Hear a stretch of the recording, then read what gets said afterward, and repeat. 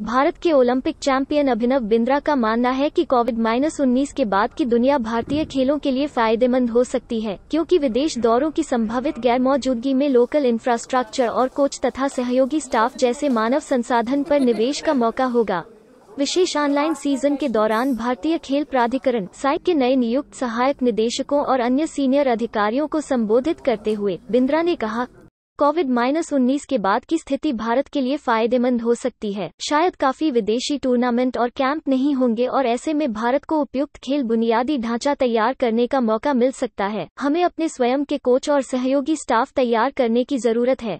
बिंद्रा ने कहा कि खेल प्रशासकों को वैकल्पिक कौशल विकास कार्यक्रम तैयार करने की दिशा में काम करने की ज़रूरत है, जिससे कि दीर्घकाल में खिलाड़ियों की बेहतर स्थिति सुनिश्चित की जा सके।